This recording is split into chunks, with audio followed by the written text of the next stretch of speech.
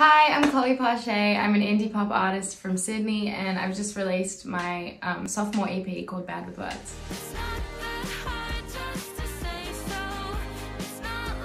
If your music was a colour, what colour would it be? Um, if my music was a colour, I think it would either be green or yellow and I'm not really sure why. I think it's just because those are my favourite colours. What's your favourite music video? Um, my favourite music video would have to be probably Hey Ya by Outkast. I think that's a really cool video.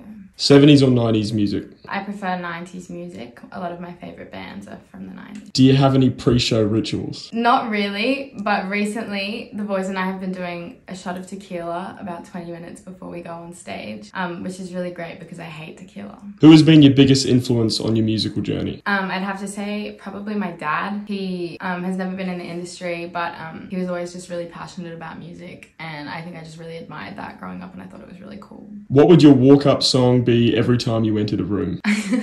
I think probably um, "How Soon Is Now" by the Smiths, but only if I'm entering in slow motion. Like you'd have to be walking in slow motion to that song. Bye.